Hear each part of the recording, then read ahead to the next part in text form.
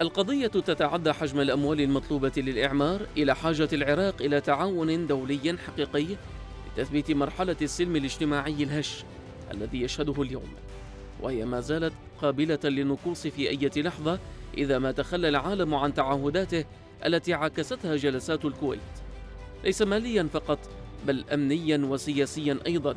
داخليا ليس مستغربا أن تستخدم القوى التي ترسم خريطة مواقفها من كل القضايا على أساس الدعاية الانتخابية للضرورات الوطنية كل الوسائل لمنع تحول مؤتمر الكويت إلى مادة انتخابية لحيدر العبادي فهل سيقدم العراق تطمينات كافية لتهدئة مخاوف المستثمرين الدوليين حول بيئة الفساد الطاردة؟